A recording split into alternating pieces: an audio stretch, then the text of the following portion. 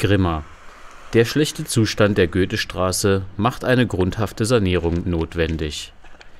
Diese ist nun beschlossene Sache und wird im Mai dieses Jahres beginnen. Geplant ist, in einem ersten Abschnitt den Teil von der Beiersdorfer Straße bis zur Siedlerstraße auszubauen.